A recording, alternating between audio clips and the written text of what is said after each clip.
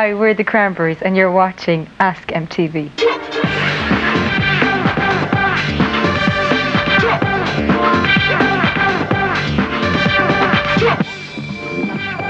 Hi, I'm Dolores. And I'm Noel.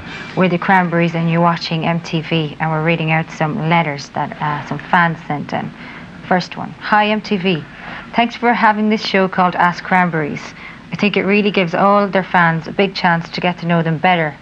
Personally, I have a question that I hope they can answer. Your band has been described as a band with attitude. In your opinion, what do you think constitutes this attitude or style? Khalifa Perak, quite an unusual name. Um, I think attitude basically means when you are not afraid to be yourself, perhaps, and when you are unique in that you say what you want to say despite what you should say, and when you try not to fit in, but you are purely yourself because you have the confidence or maybe the attitude to be that. Um, and our style, it just derives from our souls, I suppose. Do you agree, Noel? I do. Good. That's a good answer, like that. Your turn. Hi MTV and the Cranberries. My name is Sari from Indonesia. I would like to know if you were stranded alone on an island, what three things would you have with you? No. Something to drink, perhaps. Lots of water. Yeah. Um, a build your own bridge kit, maybe, to get off to. And um, stereo. Yeah, and something to build your own bridge to get off. Yeah. That's cool. Um, hello, Cranberries. I really love your songs a lot, especially Linger, which I think has simply very beautiful lyrics. I want to ask if you have to choose between a life with no music or a life without the opposite sex, what would you choose? Oh, I choose neither, darling. I have to have boots. that's that's a bit of a tough one, actually. Um, because they're both very, you know, up there. What about you, Noel? Um, Besides the uh, music. I'm not going to say. We need both, don't we, to yeah. survive? Uh, That's Desiree from Singapore. Good question, Desiree.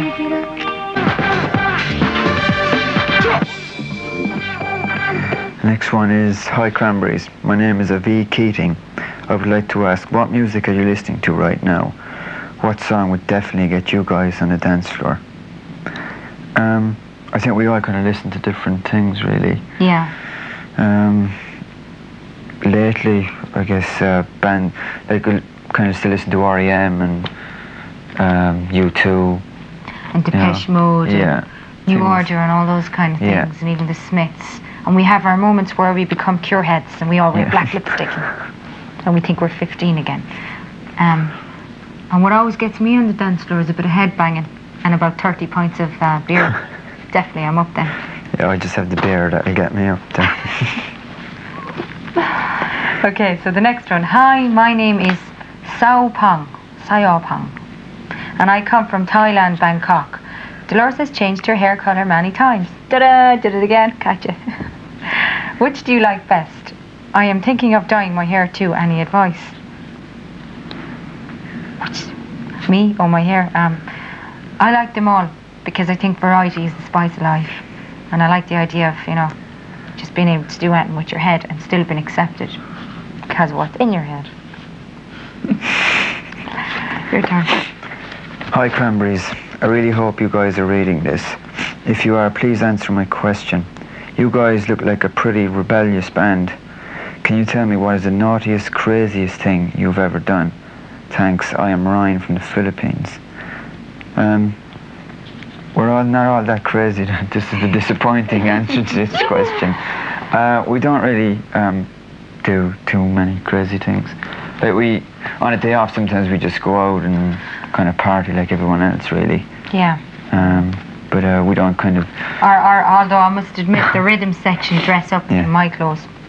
Yeah, they have that's been known to deform my yeah. undies and things, stretch them to this size. And the bass player puts sometimes he puts underwear in his head. This is true. See, they're not here now, so we're telling all the bold stories. Don't tell them.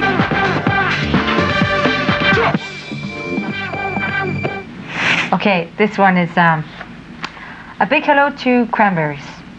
I am Ishak from Malaysia. I would like to ask the members of Cranberries if you have had a chance to be reborn and live your lives all over again, who would you want to be? Hmm. I'd like to be a butterfly or something like that.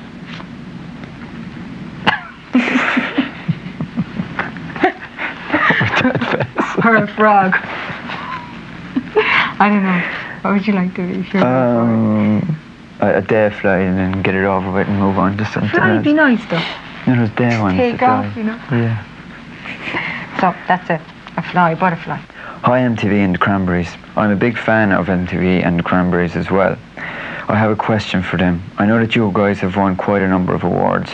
How does it feel to receive these awards? Are you like nervous when you're going on stage to receive these awards? Thanks for answering, Georgie, Singapore. Um, it's nice, isn't it? Yeah, it's it's good to know that you know people kind of um, Admire you. yeah like what you're doing as well. And you feel a sense of accomplishment. Yeah, But when you're up there, you're kind of really planking it because yeah, you're not up there singing. You're going, "Eh, thanks, man. And you're doing all that kind of thing. And, and you don't want to look too twee. Like, thanks, you know. yeah, So um, it's usually kind of hard. yeah. It's And- nerve wracking. And you don't want to start saying, I'd like to thank, and going on forever Yeah. either. So, But um, it's nice though, isn't Yeah. it? It's it's nice to get them, but it is kind of Strange experience going yeah, up there. it's like, weird. Yeah, Doing the speed. but it's part of the job.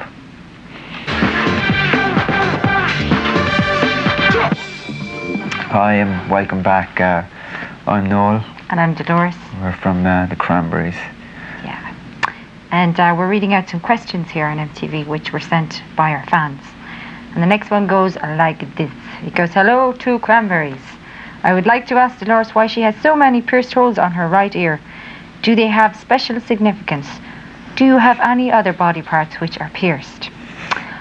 I have lots of holes in here because, well, when I was seven I got one, when I was eight I got another, when I was nine, ten, eleven, twelve, and all the ways up until I couldn't pierce anymore. And uh, I just did it because I liked them. And um, yes, my belly button's pierced. Check it out. And um, it doesn't have much significance except that it was just me growing up my own little way. Next. Jai. Jai, that was from Jai from the Philippines. Thanks, Jai. Hi, I am Kafu from the from Indonesia. I would like to ask the Cranberries which band do you think is the best, and who would you most want to work with? Uh, Um, there's a lot of bands that we like actually at the moment. Um, um, from the young up and coming bands though, uh, Supergrass, pretty good. we like Supergrass. Um, Um, and we like Oasis.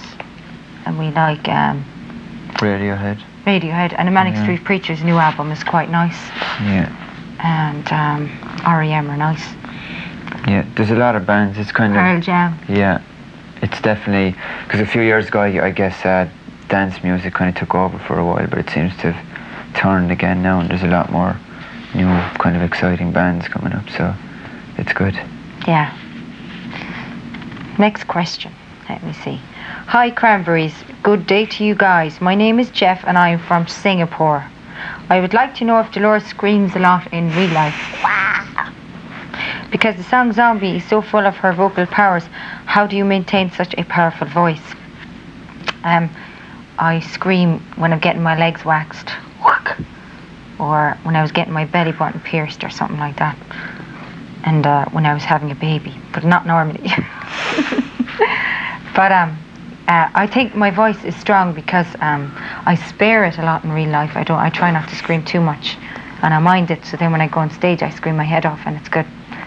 And uh, I I um I do scales and stuff before I go on stage. Your turn now.